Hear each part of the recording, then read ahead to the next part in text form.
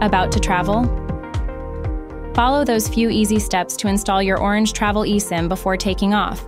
First of all, make sure your device is compatible with eSIM, unlocked, and that you are connected to Wi Fi. Ready to start?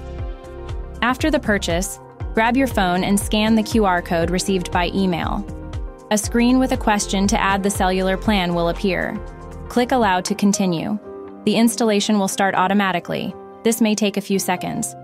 Please don't enter your PIN code just yet.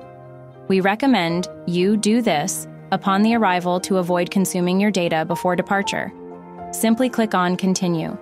You can return to SIM activation stage at any moment later. Bravo! You are set up and you are just one step away from activating your SIM. Extra tip label your new eSIM. It's not mandatory, but it will make it easier to distinguish your travel eSIM from your home SIM later. To do that, open your settings and click on your eSIM. It's usually named secondary by default. Then, click on Mobile Plan, Label button, and enter a name of your choice, allowing you to easily identify your eSIM upon your arrival. Once arrived at your destination, you have only one simple step left to activate your eSIM. Go to Settings and choose Mobile Data.